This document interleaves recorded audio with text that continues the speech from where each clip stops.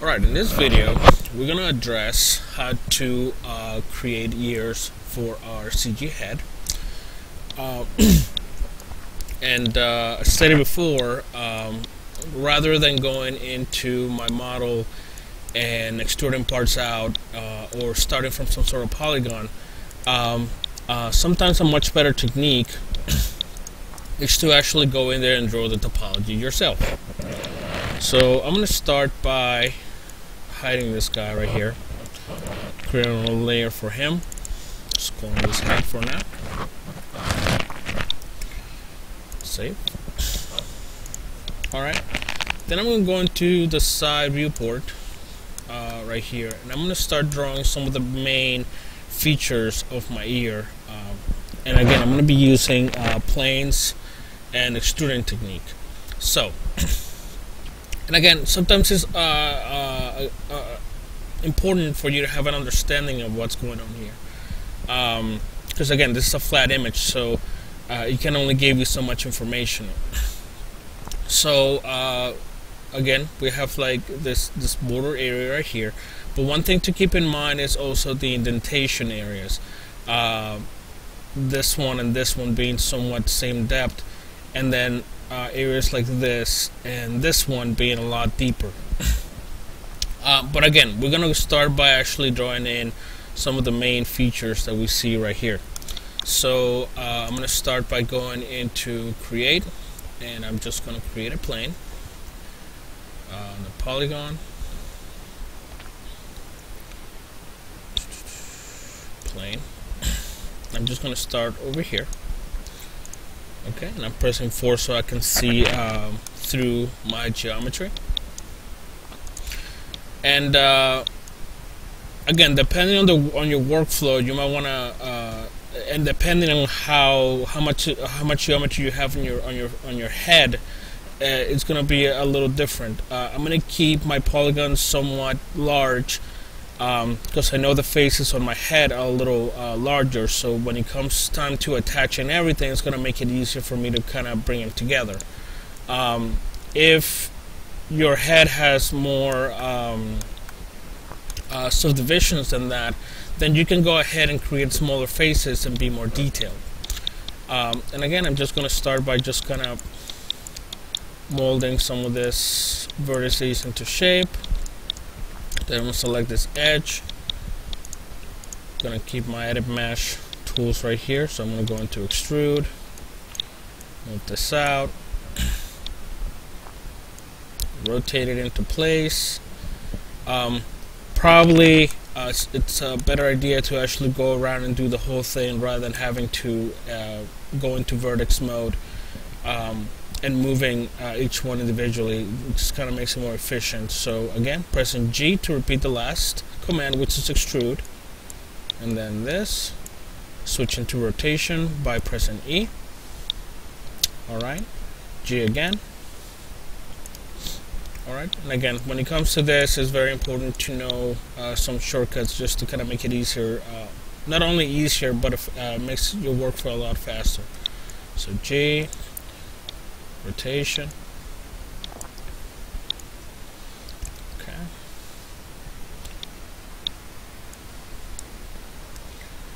Uh, okay, so my last command there changed. I just need to go back and click on extrude again. Rotation.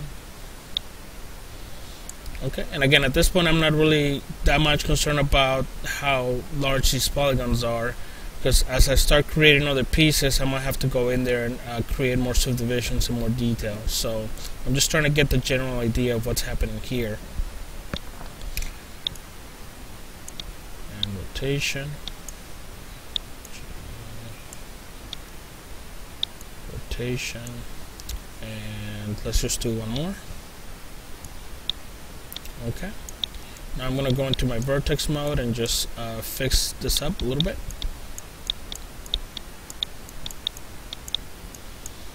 Alright, and uh, right now, again, I'm using the reference from my uh, image plane.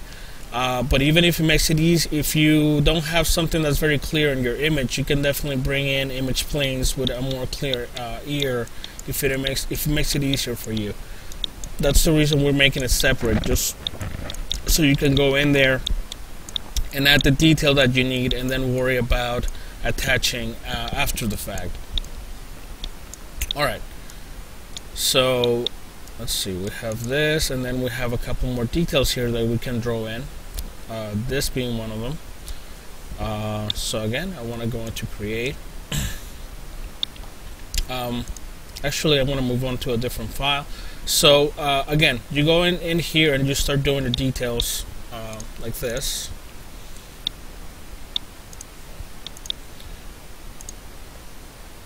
Alright and again you want to go in there and kind of draw in the main features the main uh, contours of this ear. So I started with this and again uh, notice that on this one I actually started all the way here because these parts connect all the way around and then this uh, and again knowing that I was actually to be uh, I'm going to be able to create this detail right here by extruding a couple more faces. Um, so this will be the beginning stage.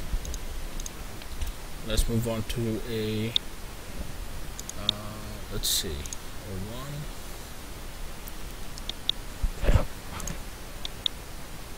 Okay. so again, in this file, I started already connecting some of these of the geometry and creating a little bit of depth. Alright. Another thing that I ended up doing at this point also, it's keeping into account that uh, again this is a three-dimensional object and not all the detail that needs to be created for this can be created on the side viewport. So I went into the front viewport. Alright and again even though it's not the the same image uh, I think what I settled on doing was on creating as much detail as I can using the side viewport and then going into the front just making sure that it's kind of you know uh, giving it that that uh, 3D perspective. And then uh, once I'm done I'm just gonna be able to go back to the front and just kind of move things around to make it fit what's going on in there. Uh, so again, at this stage, I started creating a little bit of depth um, by extruding in some uh, objects. I mean, some faces. I also connected. Um, it's all one piece, so uh, I was able to go in here and start connecting some of the faces um, to their corresponding area. Uh, and again, I'm kind of smoothing it out just to see, uh, you know, if it's actually matching what our ear is doing here okay and that looks pretty good so then the next step is going in here and uh, trying to uh, close some of these gaps. And again uh, the thing about the ear is that unlike the face and having to be mindful about loops and things like that for deformation this is an kind of an irregular model all right? So you can be a little bit more um, flexible as far as how you go about creating some of the detail here. Um, uh, but some of the, some of the rules do apply, like making sure that if you have triangles, you keep them to a minimum. Uh, but even if you do and something that's not going to deform for animation purposes, it shouldn't be that big of a deal. Um, so again, if I want to go in here, just sure that I'm in edge mode. just select all these edges, go into mesh, start filling holes all right? And again I'm uh, at this point I'm just kind of uh, I'm concerned about making sure that I start connecting this geometry. Um, I can later on go back and see if there's anything else that I can do about making sure that I don't have this triangle here. But for now it's just, it's just kind of doing what it's supposed to do. Uh, and again same thing here. Um, and keep it in mind that this is one of those areas that's going to have to have a deeper uh, kind of hole that what we have going on here. Um, we could gap this um, hole, I mean cap it. Alright, we could just gonna go in here and start making some connections. Again, um, if I wanted to make this into a four-sided polygon, I, I could just create an edge right here and start connecting. So I'm just gonna go ahead and do that by going into my interactive split tool. Alright, and again, you have uh, a little bit more of a free range uh, as far as how you go about uh, creating the shape of this because it's uh, uh, an irregular shape and it's not something that needs to be the form for the animation. but starting from something that creates the main culture, curvature of your ear uh, makes it easier to get the right shape. So I'm just gonna go ahead and connect this component alright so that's that. And I can start going in here start connecting some of these components here as well. Uh, so I'm just gonna go ahead and move on to the next file. Let's go to ear 4 okay I think this is a little bit too far. Uh, let's go to 3 alright so again in this file you can see that I went in there and I started kind of filling in all the gaps. Um, alright and again a little bit different than the decisions that I was making on the last one. I'm not too concerned about some of the triangles that I'm creating here. I did find a way to make this into a four-sided but I still have a triangle right here. I connected um, or bridged these faces and again I'm kind of going back and forth between the smoothing uh, the smooth version and the geometry version just to make sure that everything is being uh, uh, welded correctly. Because if you if you wouldn't you would see some sort of either weird deformation or some sort of sharp edge. So on the next version now that I have the main definition of my ear and I've kind of gone in here and uh, filled in some of these gaps in between I'm gonna start adding some depth to my ear. So I'm just gonna go uh, especially to these areas that have the deeper holes. And that's in version 4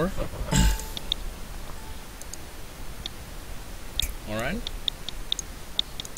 And again it was just a matter of either taking what was already there, there and pushing it back or either going in there and doing some sort of extrusion okay and again we're starting to see a little bit of more irregular geometry going on here. Um, I still have you know if I was working on this file I'll probably have to go in here and clean this up a bit. Um, you can see that I also went in here into this area and I extruded the faces in. Um, again by adding a subdivision here and extruding that in and that was that's what gave me this kind of uh, curve in kind of detail that I have going on because again that's something that you don't see in your reference but it's actually kind of curved in. So you want to have something along the lines of that. Um, and this part right here something I just have to kind of make sure that I went in there and extrude it in. Again um, don't have to do much in here because that's that's probably a detail that's never going to be too close to our virtual camera or anything like that. Um, and I also went and made sure that there was uh, I started creating some geometry that's going to be able to help me connect to the head as uh, you know when I get to that point. Um, and again just making sure that everything's on quads. Uh, but as you can see there are some areas in here where we, we, might be able to find some triangles. And again these areas are not that important uh, so you know um, uh, it really depends on, on, on the aim of the project so if you really needed something that was all based on quads, you would take the time to actually go in there and do the details and change it uh, and make it as perfect as you can. If it's not something that's relevant to what you're doing, uh, you know, in areas like this, you don't really have to spend that much time. So let's move on to the next one. Let's see, here here five.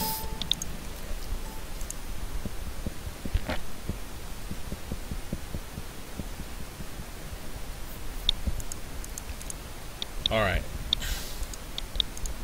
So uh, again, in the last file you saw me going in here and start adding some geometry here for the transition between the ear and the face.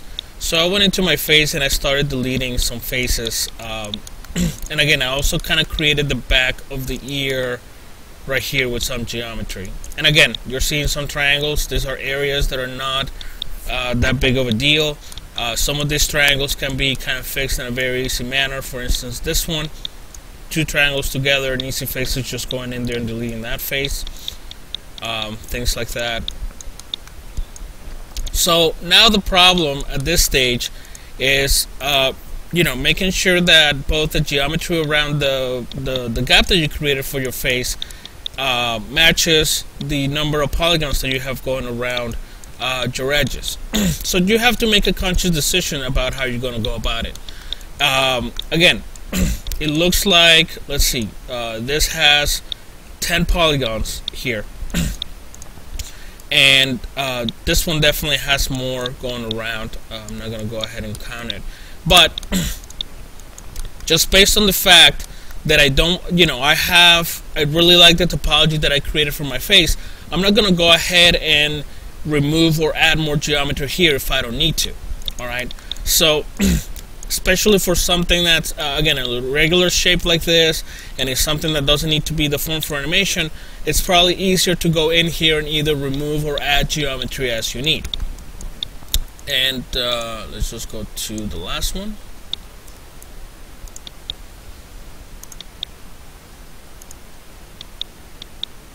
Okay. So then it, again it was a matter of going into my ear and making sure that the edges around the gap that I created for my face uh, matched what uh, what was happening uh, around my ear. And then going in here and adding a couple more details to make sure that it looked like a natural ear um, I think another thing that ended up happening in this was that I felt that um, the side um, image that I, I was using as reference actually it was a little bit uh, had a little bit of perspective on it and I felt that the distance between the eye and the ear was a little bit too far. Like it just didn't look it didn't look realistic once I uh, um, I placed it in that position so I ha- and, and again this is I think it's a conscious decision that I made on my last file and I made sure that it was actually closer um, to the eye than what it is on the picture. Because again,